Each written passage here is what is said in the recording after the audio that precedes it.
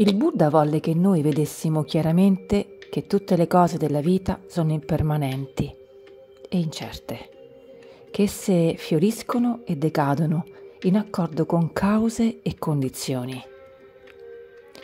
Cose benefiche sono soggette al decadimento e cose non benefiche possono essere purificate. È saggio preservarsi da cosa potrebbe arrecare danno a una relazione benefica o, se tale relazione è già in decadimento, bloccare con prontezza la causa di tale decadimento. È importante sviluppare noi stessi allo scopo di avere la capacità di farlo.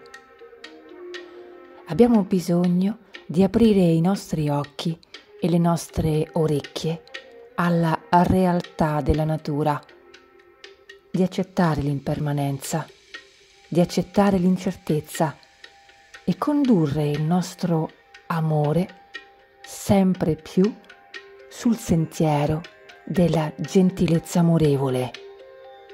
Metta. In questo mondo amare, amare saggiamente, comporta a imparare, a comprendere la natura dell'amore e a contemplare i suoi svantaggi come pure i suoi vantaggi. Il Dhamma ci insegna ad abbandonare le brame, che sono causa della sofferenza, causa dei mali che accompagnano l'amore terreno. Dovremmo mirare ad essere una persona che né soffre per amore né è per altri causa di sofferenza per amore. Purificare il nostro amore affinché esso assuma la qualità della gentilezza amorevole. Imparando dall'esperienza, giungiamo alla verità delle cose. Nel vedere le cose, il modo in cui le cose sono, l'amore che è alimentato dall'ignoranza e dalla brama diminuisce o scompare del tutto. L'amore basato sulla saggezza, sulla comprensione e sui desideri che da queste ultime scaturiscono, persiste e matura. Il Buddha non ci ha insegnato ad usare la minaccia dell'inferno o la promessa del paradiso. Egli ha piuttosto annunciato di essere un conoscitore di tutti i mondi, di aver visto con chiarezza il modo in cui le cose sono e di averlo esposto. Disse che il Dhamma era sperimentabile ed incoraggiò la gente non a credere semplicemente in esso, ma a sottoporlo a verifica.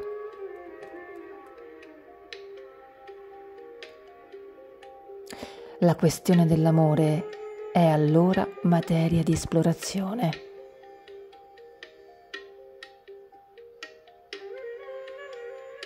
Non ci si aspetta che si adotti una particolare attitudine buddista nei riguardi dell'amore, ma che si abbia un profondo interesse nell'osservarlo nel modo più saggio possibile, imparando accuratamente cosa realmente è. Perché ogni componente del mondo è pronta ad arrecare sofferenza a chi è privo di saggezza e sempre pronta a condurre alla felicità chi ne è provvisto.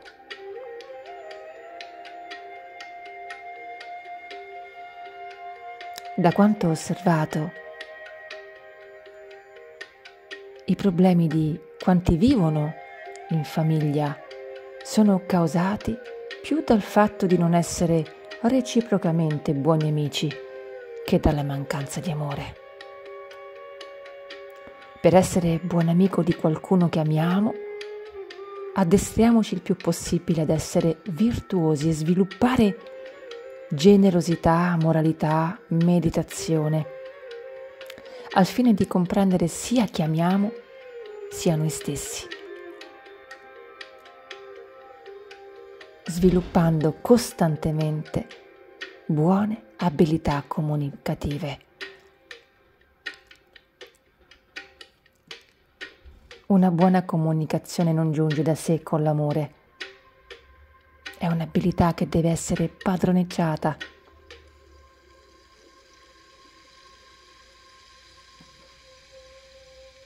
Siamo sulla stessa barca. Una squadra con un problema da risolvere, da risolvere insieme. Ascoltare quindi e parlare bene prima di riuscirci.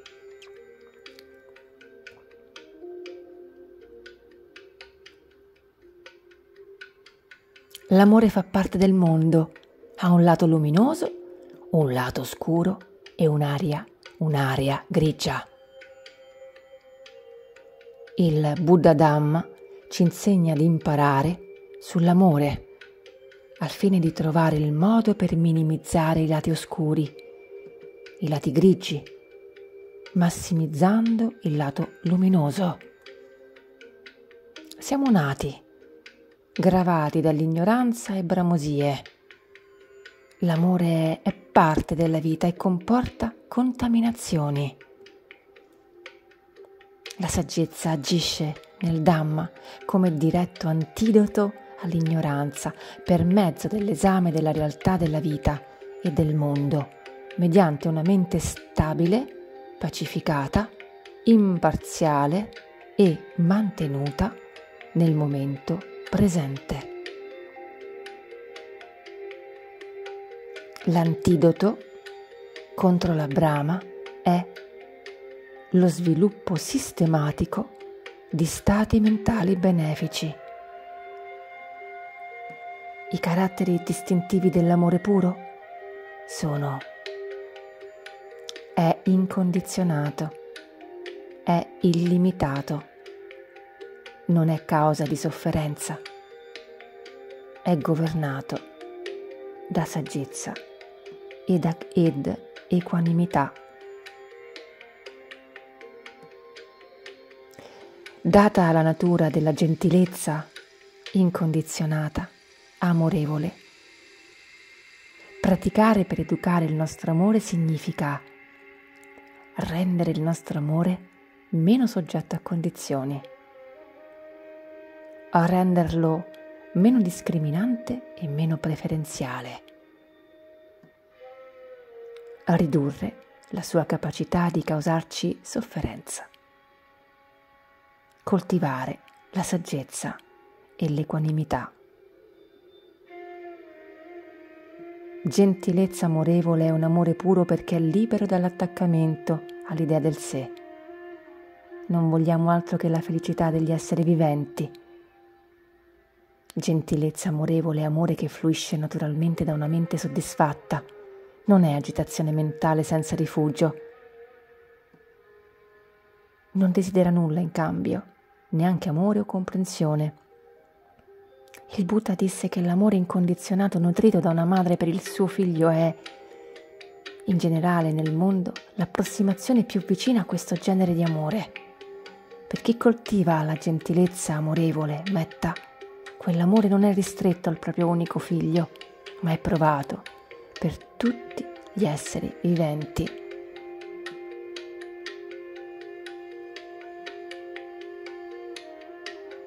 La qualità di Metta, che è forse la più difficile da sviluppare, è l'universalità. L'amore personale manca di universalità, perché è connesso a pregiudizi, limiti, E una delle ragioni per cui i monaci buddisti praticano il celibato è per prevenire che l'amore personale ostruisca il fluire di metta nei loro cuori.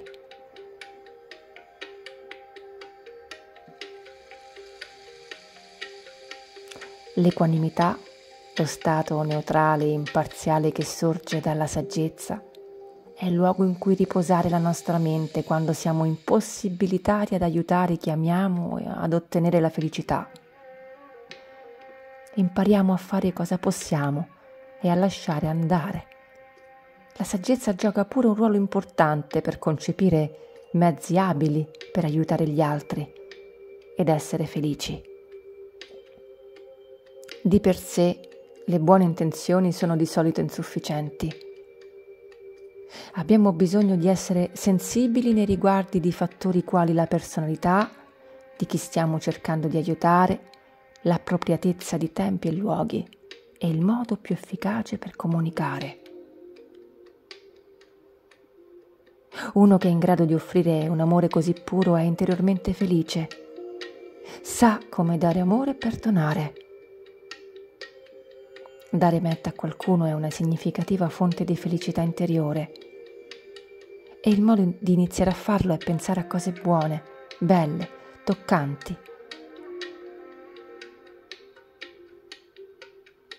Si cerchi di trovare la formulazione che dia i migliori risultati, calma interiore e vitalità. Dicendo che io possa, non è che lo si chieda a qualcuno, è più una conferma a noi stessi a proposito dei nostri fini spirituali. E oltre a rafforzare la nostra determinazione, queste parole servono a farci esaminare se il modo in cui viviamo quotidianamente è compati- compatibile con le virtù desiderate.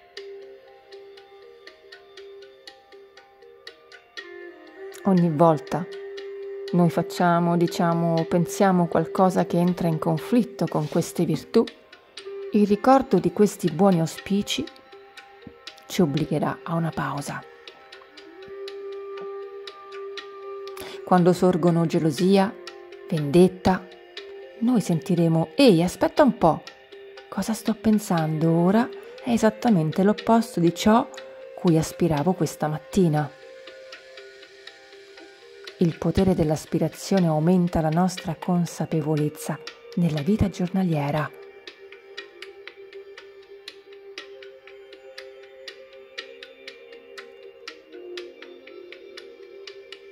Un altro mezzo per diffondere mantra, metta. Un altro mezzo per diffondere metta consiste nel praticare, usare mantra in connessione con il respiro. Per esempio, una parola composta da due sillabe come gioia può essere divisa in jo per l'ispirazione e ia per l'espirazione. Recitare mentalmente la parola aiuta a sostenere l'attenzione sul suo significato. Inspirando si pensi alla gioia, diffondendola su tutti gli esseri viventi, si pensi a se stessi come a una luce che emana luminosità in ogni direzione. Infine, che tutti noi si possa essere in grado di imparare e comprendere l'amore. Non importa e non ti preoccupare se agli inizi inciampi. Praticare il Dhamma per dare un senso alla vita non è facile, ma non è nemmeno impossibile. Ne vale ugualmente la pena.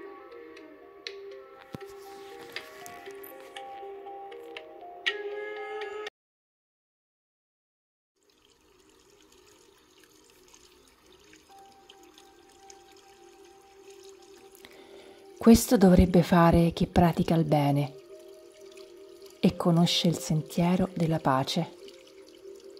Essere abile e retto, chiaro nel parlare, gentile e non vanitoso, contento e facilmente appagato, non oppresso da impegni e di modi frugali, calmo e discreto non altero o esigente, incapace di fare ciò che il saggio poi disapprova. Che tutti gli esseri vivano felici e sicuri, tutti, chiunque essi siano. deboli o forti, grandi o potenti, alti, medi o bassi, visibili e non visibili, vicini e lontani, nati o non nati.